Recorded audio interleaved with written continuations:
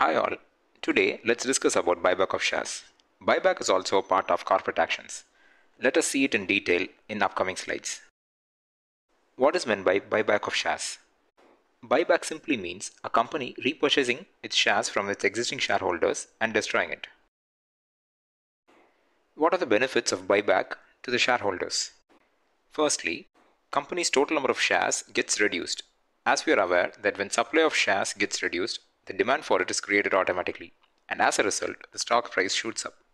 Also remember to check if the buyback announced by the company is from its cash reserves or using debt. If it is using debt, then please stay away. Secondly, earning per share is increased. This is because the number of shares gets reduced, as we saw in the previous point. And thirdly, the PE ratio, that is, the price to earning ratio gets reduced. This is because the earning per share has increased. Let us understand the above points even better with an example from the next slide onwards. Let us assume company X has 1 crore shares and the profit after all expenditures like paying the tax and dividend etc is 10 crore rupees. Earning per share is calculated as profit after all expenditures divided by the total outstanding shares that is 10 crores divided by 1 crore which is 10 rupees and that is the EPS in the above case. Now let us assume the same company X has announced a buyback of 20 lakh shares which means the company has planned to buy 20 lakh shares from its existing shareholders and it would destroy it. Now the new EPS would be 10 crores divided by 80 lakhs that is 12.5 rupees. So now it is clear that after buyback of shares the EPS has increased from 10 rupees to 12.5 rupees. What will happen if earning per share increases? If the earning per share increases, the PE ratio goes down, which will attract more investors. PE ratio is calculated as the market price divided by earning per share. I will talk about PE ratio and earning per share in detail in my upcoming videos on fundamental analysis. What happens if a company generates more profit? If a company generates more profit, they can reinvest the profits for the development of the company or they can pay high dividends to the shareholders. They can use it to acquire other companies or use the cash for buyback. What are the reasons for a company to announce buyback? If a company's promoter has high confidence on the company's growth, that is, if the promoter feels that his company has great future prospects, then he would offer for a buyback. The second reason would be to stop the share price from falling down. That is, if a share price goes down day by day, it might create a panic situation among the investors. So, in this case also, the promoter would offer for a buyback to boost the confidence of the investors. Buyback can be done in two ways. The first is open market offer and the second would be the tender offer. Let us see them in detail from the next slide. Open market offer.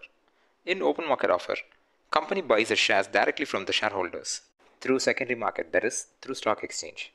If you don't know about secondary market, please do watch our video on basics of stock market. I have pasted the link of the video in the description also. In this case, if buyback is announced, the company also mentions the buyback period and the maximum price that the company will buy from its shareholders. Let us consider the below example to understand open market offer even better. Let's assume company X has a total of 1 crore shares and the current market price is 100 rupees and it has announced a buyback of 20 lakh shares and the period is from August 1st to October 30th and they have set a maximum price range of 125 rupees which means they would buy the shares up to 125 rupees. If share price goes beyond 125 rupees, that is 126 or 127, then they don't buy. In simple words, they buy their shares at current market price until their maximum price is reached. What is tender offer? In this type, company buybacks its share at a premium price, that is higher than the current market price. A company sets a record date and after record date, company sends letter of offer to all the eligible shareholders. Eligible shareholders can sell their shares to company, otherwise neglected. The companies normally fixes the ratio for buyback. For example, let's consider company fixes a ratio as 1 is to 5. That is, if you hold 5 shares, then it is guaranteed that the company would definitely buy one share if you take part in the buyback. In some cases, if you take part in the buyback and if there are very less participants, there are chances even that the company can purchase the entire shares from the participants. The ratio that we saw in the above cases is called as the acceptance ratio.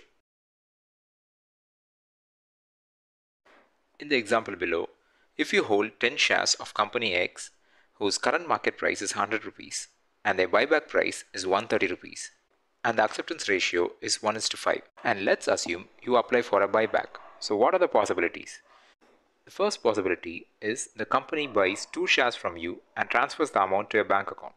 The second possibility is if the number of shareholders willing to sell is very less, the company X would buy all the 10 shares from you.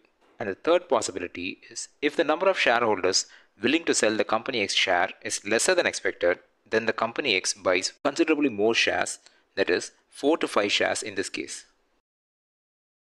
How does the company transfer the money to you if you are taken part in the buyback? If you are part of the buyback, then the payment is made directly to your bank account. Keep in mind, the payment will never be done to your trading account. Now, where to check for the upcoming buyback announcement? We can see them through news channels, but here I will show you a website named Chittorgarh. Here we can see all the buyback related announcements. Take a look at the below example. Here, Piramal Enterprises Limited has announced that they will buy 3.3 crore shares through tender offer and their record date is 25th August. Look at the below table. Here we see issue open and issue close. So what is issue open? Issue open means it is the date from which the company will take part in the buyback, that is 31st August in this case. Whereas issue close means date on which the company will close its buyback. Here it is September 6th. And this type of buyback is tender offer type. Let us consider the below example for open market buyback. Take a look at CL Educator Limited. Here they have set the maximum price as 94 rupees. So up to 94 rupees they will buy 15 crore worth shares from the period of August 21st to November 28th. Now I hope you are able to understand the concept of buyback. If you have any queries, please ask me in the comment section. Thanks for watching the video. If you like our content, please share it with your friends and relatives. Also, remember to subscribe the channel before watching the video. Thanks for now and see you in the next videos.